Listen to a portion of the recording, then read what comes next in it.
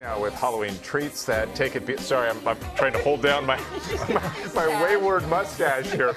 So we're going to go beyond the king size candy bar. Jackie Rothong, culinary producer and food stylist, is here with a wickedly wonderful Halloween menu. Hello. I know uh, Gio and Stephanie are up there with you as well, but let's start with the drinks. You've got the perfect potion. Tell us about it. Yes, I really do. I'm so excited to be here and show you guys some of my awesome Halloween treats. And they're not just treats. We got some tricks brewing up over here as well. We have dried ice that, Gio, you're going to put that okay. right into our punch with us. This is like a bob for apple cider. A nice little, be careful now. Things oh, are going to happen. Wow. It's going to bubble up. Some cool stuff is happening.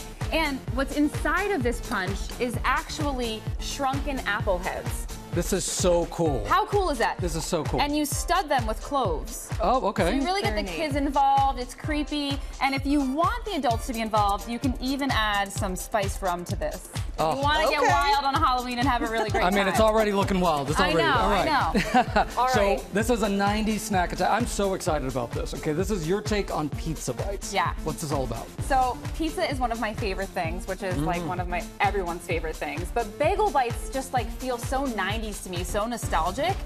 So what I wanted to do is get the kids involved. I don't have kids, but I have a niece and nephew, Blake and Ella, four and two, who would love this. These are ghost mozzarella. That is so cute. You just use a cookie cutter or you could cut it out yourself by hand.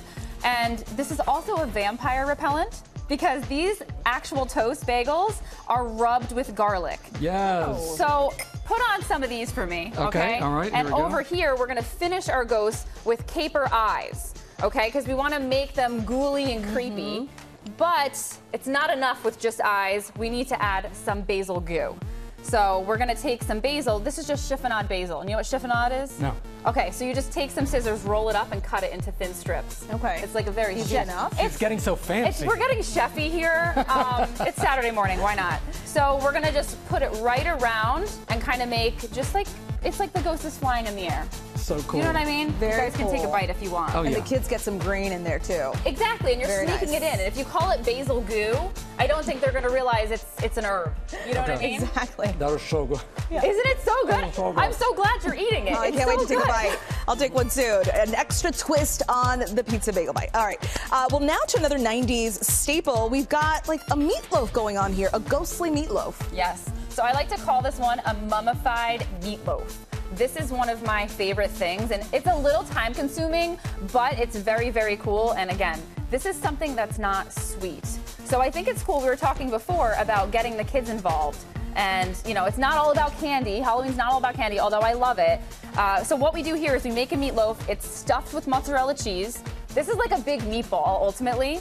And then you take puff pastry. Think of this as like a beef Wellington. You take puff pastry and you're gonna fold it around the meatloaf like this. And you're gonna make like a little hat, like it just got out of the hospital, it just had surgery. Yeah, just like the process of doing it yeah. is so much fun for the kids. That's what I think this is cool. Is such a great idea because my kids they love meatloaf. Yeah. So this is a really nice twist to the traditional I, rectangular meatloaf. Or you can just take hers to them later today. Uh, yeah, you can even better you idea. can take this one Save home. Me the time. I gotta tell you, I didn't love meatloaf growing up, so sorry, mom. But um, I, uh, this one you're gonna really, really love. And then you brush it with egg wash. You put it in the oven for about 50 minutes, and it comes out beautiful like this. And we're gonna Very finish nice. it with eyes. So I cut out mozzarella. Go ahead, grab that mozzarella. Grab this. And then an olive and a caper create these like really cool eyes. And it's just like your mummy comes alive. Really neat idea. And of course, we have to have, I mean, look how cool this is. But we have to have a cleaver to cut into it. oh, gosh. So cut on into it. Oh my, yeah, Cut on into it. I, I'm telling you, it's the best thing. Oh my God, I love it. And you know what? You can leave it in it. There you go. Yes. Oh. And then also, guys, there's of course a really cool bloody glaze that goes on top of our mummified meatloaf because we want to get that effect of blood and goo and really creepy Halloween stuff. Um, Dress it up. But we want it to obviously taste delicious. So we want to be creepy but good at the same time.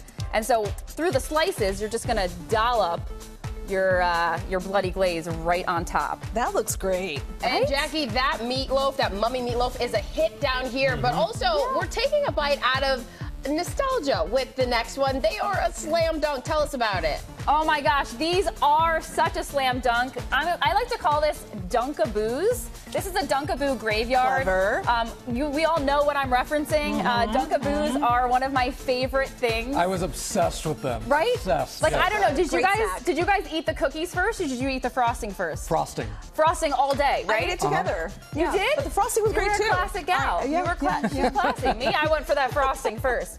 All right, so what we're gonna do is we're gonna just put a little bit of this dirt right on top, and then go ahead and stick those. I made sugar cookies. Stick these right in. Go ahead, get on in there. Hey, Janai, before we go, look at the costume. I know. Share. right? I'm It's so Cher. share. Thank you, Cher, for all of these love it. amazing recipes. They are all on our website. Well, hey there, GMA fans. Robin Roberts here. Thanks for checking out our YouTube channel. Lots of great stuff here. So go on, click the subscribe button right over right over here to get more of awesome videos and content from GMA every day, anytime. We thank you for watching, and we'll see you in the morning on GMA.